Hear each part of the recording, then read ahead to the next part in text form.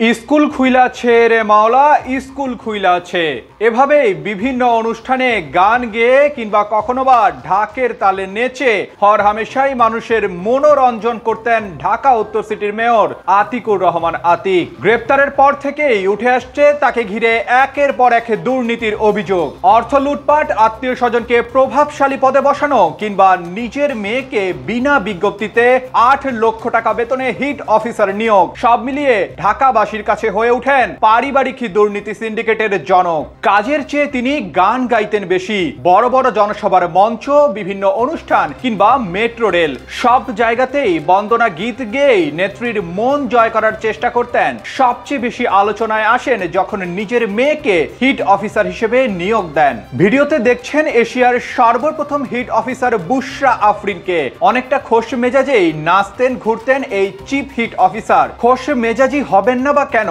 তিনি ছিলেন সাবেক সরকারের ঢাকা উত্তর সিটি কর্পোরেশনের মেয়র আতিকুল ইসলামের কন্যা।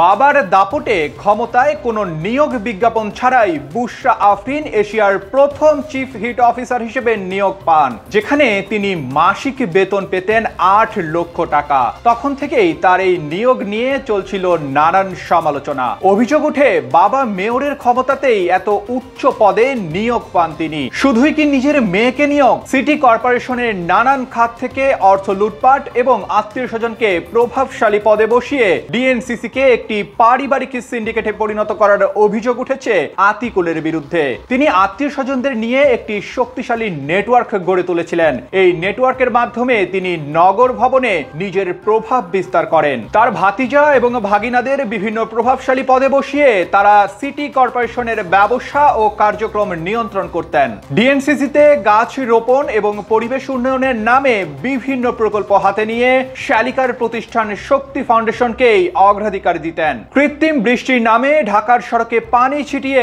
লক্ষ লক্ষ টাকা অপচয় করার অভিযোগ রয়েছে আতিকের বিরুদ্ধে। এসব প্রকল্পের পেছনে ছিল আতিকুলের ঘনিষ্ঠ আত্মীয়রা যারা নগর কর্তৃপক্ষের সব কাজের উপর নিয়ন্ত্রণ রাখতেন। জানা যায়, হাসিনার সরকার পতনের একদিন আগেই আত্মগোপনে চলে যান এই আতিক। তারপর গত আগস্টের রাতে গোপনে নথিপত্র সরিয়ে নিতে নগর ভবনে প্রবেশ করলে কর্মচারীরা জড়ো নগর ভবনের সামনে। শুরু করেন বিক্ষোভ, আর তাতে অবস্থা বেগতিক দেখে পেছনের সিঁড়ি দিয়ে দ্রুত পালিয়ে যান তিনি। তারপর চোখের আড়ালে ছিলেন সাবেক এই মেয়র। কিন্তু তাতেও শেষ রক্ষা হলো না তার। অবশেষে আইন শৃঙ্খলা বাহিনীর হাতে তাকে ধরা পড়তেই হলো। আমি